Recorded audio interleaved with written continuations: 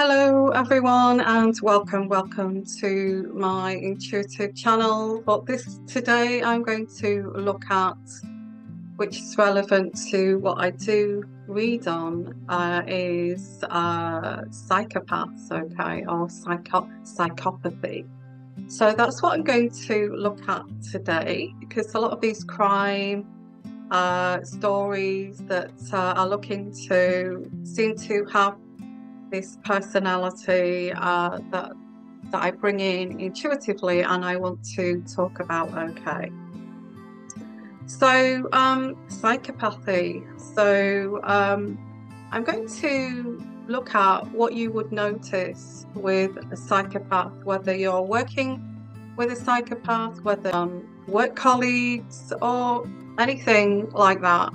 Um, that, that may alarm you or put up some, show some red flags to keep your distance okay? Because that's what you should do with people like this is not give them the benefit of the doubt but say let's just see how this goes because they are dangerous. They can destroy relationships. They can destroy people. They can destroy companies. They can destroy um, a working team, they can destroy and become destructive um, for for no reason whatsoever. It can be no reason whatsoever at all. The only thing that I I uh, feel well, it is a personality, a severe personality disorder.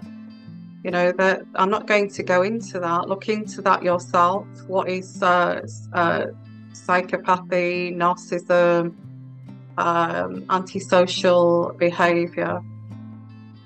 What I am going to go into is some signs that may alert you to um, to the to these dangerous people that you're allowing into your business, your work, your um, you know, into your life as as a friend. Okay, first of all, they they they study well when you meet them they they are studying you okay? They study you.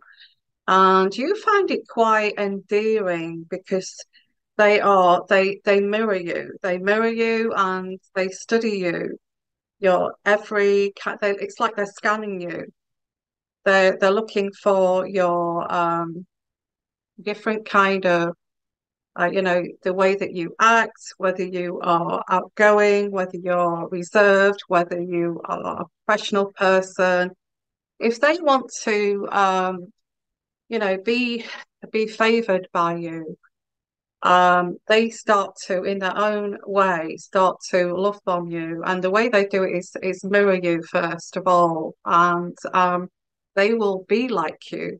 They will um, you know say that you're very exuberant and you you know you're very expressive then they will start to be this expressive person. If you are very reserved very professional like they will start to be very reserved and professional like because they they want you to feel as if you have met the perfect person for this job or the perfect person to be their partner or the perfect person to to be their friend.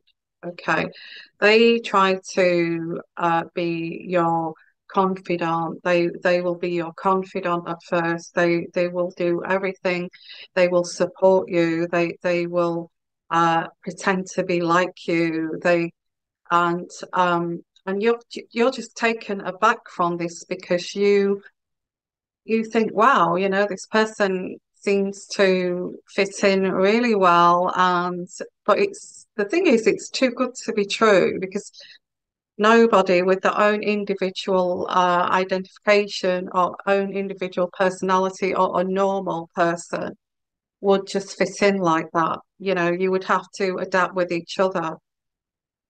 And and this is usually the case is this is too good to be true and it makes everyone else in the workplace look like they're hard work, that they're not fitting in, that that that, that they're not uh, gelling with with with team uh, or with you as as a boss or or with you as uh, you know the family even a family family members. They make other people look like outsiders because oh you're not you're not being like me you're you're not mirroring me um not that you're conscious consciously doing that it's just that, that the psychopath has made you believe that people should fit in so quickly or they should fit in with you instantly because it is all about you and they make it all about you. But in reality, normal people don't do that. They they don't do that. They don't um, you know, it takes a while for people to get to know each other, each other's personalities, and then you start to, you know, uh, come together as as a team, you know. Um, Another thing that um, psychopaths will do, or people with personality uh, disorders, they will do that to to who's important, who they need, what they need, uh, you know, to to look like they are the best um, family member, the best best daughter, the best uh, best lover, whatever this is. They they will they will make everybody else look beneath them. And the way that they make everybody else beneath them is behind the scenes while they're not with that person. You or whoever this is, behind the scenes, they are they are demeaning that person very kind of subtly, uh, subliminally, subtly um, uh, discrediting uh, the other person or the other people around, and they do it to them behind closed doors. They will say something, they'll send them messages, they will send them phone calls, they, you know, thinking that the main person is not going to see this. And and and what they do is slowly chip away at their their their uh, contenders, if you like, because psychopaths see everyone as, you know, everyone as that they're against them and that they are going to compete with them. A normal person does not think that. They think that, okay, well, let's work as a team and let's work together and you know, it was a family, let's let's get together, let's each other have our say. But uh, the psychopath stands out like a sore thumb because they will start to discredit the other people around. This is a big red flag when they start to do that and uh, you may get complaints of wow you know that person said this to me and and then it makes you look as if or it makes uh, the other pe- people look as if it's that them that's crazy and it says wow i can't believe that i got this if you know i got this response from this this other person this psychopath um, behind scenes behind closed doors. And um, and then you're made to look what do you mean? I don't see that. I don't see that in that person. I i've never seen that in that person. Because what they're doing to person that they want to impress or they want to love bomb them make them feel that everything they say do uh, uh is is right so we we get this with uh psychopaths. This is how they start off, is the love bombing and discrediting people around. They do it subconsciously. It is something that they do uh, without even thinking. It's part of the wiring of their brain. You know, it's that their brain is wired up like this. Um, they don't. They don't do it. Do they do it deliberately? If even if they don't do it deliberately, it, it's very damaging. It's a very damaging uh, behavior.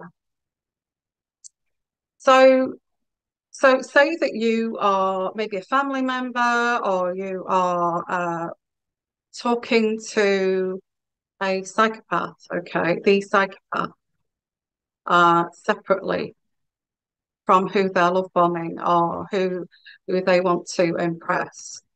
So you're talking, they, they, they pretend at first they what they do is slightly love bomb you so they can find out about you and see what they can can actually use okay to to discredit you So they'll start off with pretending that they care and they that they want to get to know you, that they're helping you. Um, and then you'll get this question out of the blue. Um, what is it you did before? Um, what is it that you uh, what is what what what what's your background? If you're in a working environment and it's a co-worker, or even if it's a family member, um, you will say, well, you know, I I went to university. Well, previous to this, I was at university and uh, I worked so hard, you know, it drove me crazy at times, but I got there in the end. And uh, and then I, this led me to work in intensive care. And, you know, that that is it's just so intense and it can be quite stressful. It's quite a stressful environment and like that. And um, a normal person, a normal wired person would say something like, Wow, you worked so hard. I can see that you've achieved, you know, that you worked so hard and you you've been very kind of um, you know, you, you have been very consistent in trying to get to your goals. And you reached your goals and you reached that goal and now you're on to another chapter which is fantastic. No that is a normal person's reaction. A psychopath's reaction to that. They would be thinking in their head when you told them your backstory like that they would be thinking, okay, she worked here, she did a degree. Why did she give that? Why did she move on to doing that? Okay, well, maybe she got the sack from that job and then she moved on to working in intensive care. Oh, and then maybe not only that you have have to have sparkling references to get in intensive care, okay, Oh, and then, but psychopaths don't think that. They're trying to do a backstory so they can weaponize it, okay. And then it's like, okay, she this is what's going on in their mind. She worked in intensive care. She found that very stressful. That means that she had a, a nervous breakdown. That that maybe would have led to going to some, um, you know, uh, some mental health facility. That then she would have you know that that would have really broken her down made her into a very broken person. Oh and then um, she is now deciding to change her career yet again because what happened there and um, and and then there's this like narrative that isn't true that's made up to weaponize weaponize their victim. So that's what they're thinking in their head. So instead of getting that normal response from what you would normally get, you get something like this response, which is, oh, that's awful. Wow, that must have been terribly stressful. That must have been very hard to cope with, which rings alarm bells to a normal person. You're thinking, mm, that's not a normal reaction you know that I, I don't normally get that reaction from a normal person. I normally get wow you reach your goal and that's amazing you know and i can see why you're moving now on to this next chapter. That that that's a red flag because it it kind of when you meet a psychopath or a narcissist and um and they don't react in a normal functioning, mentally normal, functioning human being, they react in a very strange way. It it kind of makes you be wary. You you don't know why. You can't put your finger on why you feel you can't trust this person. Uh, but you feel that you feel it, and and the why you feel that is because it's your it's your gut feeling telling you that something's a bit off here. You know, why are they saying, oh, that's awful? That must have been so dreadful. And that, that must have been so hard to deal with. That's so hard to cope with. There's no wonder you are like you are now. And you're thinking, what, what am I like now? You know, they make this narrative up. And then they take this narrative and they start to weaponize it, okay, just from you telling them that you are you know, what you've done before and you're trying to befriend them and tell them about yourself. They take that because you're a threat to them, you're, you're competition to them. They see everyone as com competition, not just you. Everyone is competition. They feel, uh, psychopaths feel as if they've got to tear you down first before you tear them down. Okay. And they do. They do. They do tear you down and they do destroy you um, in a in an horrific in horrific ways unless you back off and get out of dodge. Okay. Um, so you're confronted with and you can't work it out. Okay, that's that's a bit off. You you responding in that way. And uh, and if you're not intelligent enough, and you, if you are um, maybe suffer from anxiety and you you can't you would take that personally you would say oh why, why do you think do i actually you start disbelieving in yourself because they're put, putting this negativity uh, feeding you this negativity of instead of feeling proud of what you've done and proud of um, reaching that goal and then moving on to the next goal um, they make you feel that there's something wrong with that. Well, you know, that was a strange kind of move you made there. Um, they make you feel wrong when you think, hang on, I was actually back then, I was actually enjoying that challenge. Back then, I actually enjoyed that that um, you know university degree course, although it was challenging. I felt I'd achieved something by reaching working in intensive care um, and you're telling me this this has ruined my life. That just doesn't, you know, all of these things um are not, you know, it's it's not a normal reaction. And that's what you look for. That's what you look for in anyone with psychopathy uh, or psychopathy is because they do not react in a normal, you know, a normal, mentally normal way. They react in a very bizarre kind of searching for things to weaponize. Okay. So off they go with this backstory, this new narrative that they've made up in their own head, this this psychopath, uh, to back to the person or back to people that matter that's going to help them get up the ladder. Um, did you know that she was did this and did that and actually had some kind of breakdown there? oh, did you realize that she, uh, you know, she's pretty crumbled up inside and she's broken? Did you realize that? Uh, so then you get this, and then it goes to a next person. Well, you know, maybe she needs to get therapy. Maybe she needs to go and see a psychologist. Well, maybe we should help her with that. Um, and, it, and and and then we get this smear campaign of everybody thinking of this backstory, which is not true, that's been weaponized against you to make you look as if you're incompetent. Okay, that, that's what it's about. To make you look as if you are incompetent.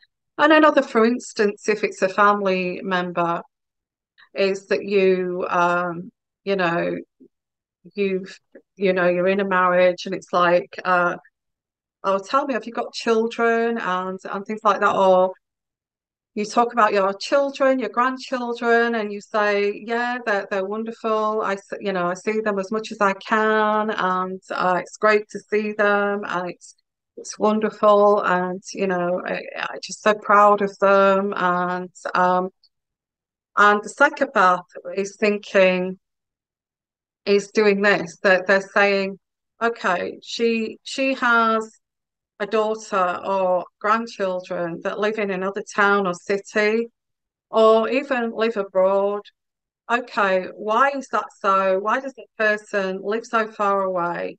What are the reasons for that? And then they make up reasons why. Okay, so there may have been some abuse here. There may have been, you know, that that that daughter or that son doesn't want to know her, and she's moved. They've moved away from her, and and you know, and it's um and it's turned into acid. It's a lovely story talking about children and grandchildren. It's turned into some poisonous story, which then is taken and saying, do you know that person? Uh, again, with the smear campaign, is do you know do you know that person? They've got grandkids and children that live really far away from them. You're thinking that I, I think that that she they may even go to the lengths of saying she told me that she didn't get on with her children or her grandchildren and you know they they you know why why does she live so far away and why why this why that why this a normal person would react to that as like saying you know oh your daughter or your son lives in another town another city another another country. Wow you know uh, what took them over there? And you'd say something like oh you know they met someone they fell in love or they went to university there or they went to college there and you know they set up their life there uh, they moved there to to be closer to other members of the family which is really nice i'm really happy about that uh, you know their sisters live there um, and, and all this kind of thing and the normal approach would be the normal approach would be how lovely, that's great. You know, it's nice that you actually go and travel over there and then you get to go to another country, another town. You know, you, you can explore uh, the area with how lovely. That's that's great. I'm so happy that you've you know you've got a, a, daughter a son there and, and they're, they're doing well and they, they've got children and they're happy is that great that's a normal reaction um, not the psychopathic looking for a weapon to use. I wonder why she is. Also, you get the in-laws, don't you? The the in-laws that are saying that are feeding negativities to the partner.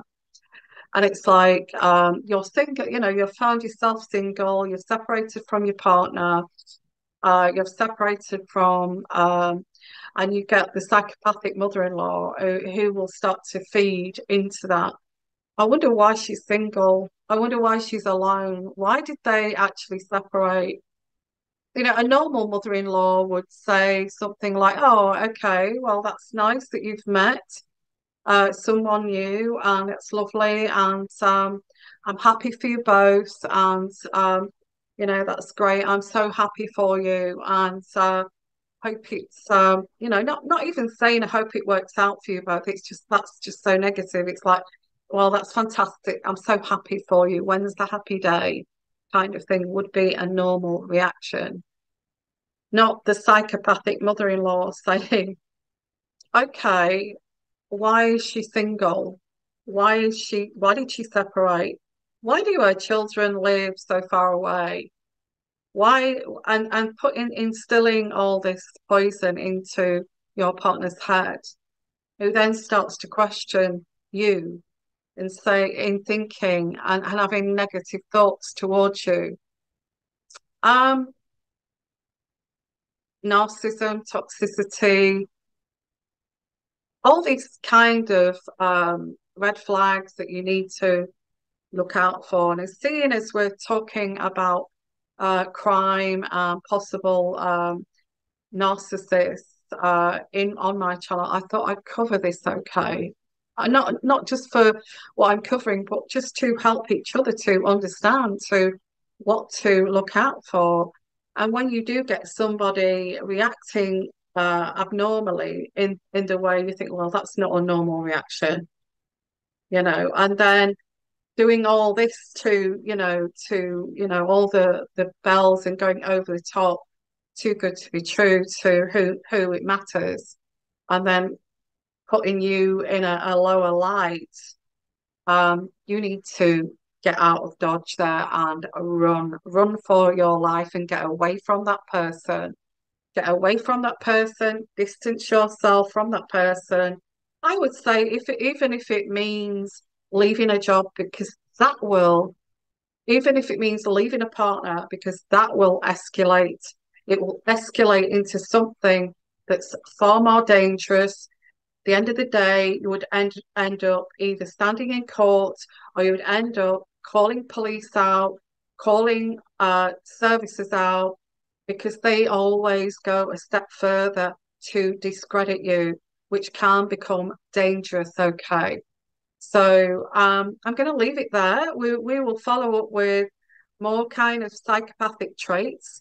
If you know of any psychopathic traits that you've experienced, please put that in, in the uh, description at the bottom and we'll explore this a little bit further. Okay. Not that, I think with me having intuitive energies and gut, really strong gut feelings, I feel that I can pick this up quite quickly. I'm really, I am really, really perceptive, and and I scare. I actually do scare uh, uh, psych, psychopathic people away, or they try, or they try to. Okay, I found a little bit of a weakness there, or I, I thought I found a weakness there to to work on, and then you kind of move the goalpost so they can't get that weakness um, they start to realize they're dealing and they don't leave you alone either they up the ante it's not that they it's not that they leave you alone if you're perceptive they up the ante and it becomes even more dangerous that's why you need to run from these people okay if you've employed or if you are working with somebody like this you need to get rid of them you really do. They will destroy. They every employee that you employ, they will get rid of them. They will discredit them. They will make this uh, environment intolerable to work in. Uh, for everyone, you will find people leaving all the time because they'll pick up on this and that I don't want to work with this kind of energy, and they will go so keep your eye open, wide open to people like this and avoid them like the plague. Sending you lots of love. You take care out there and bye for now.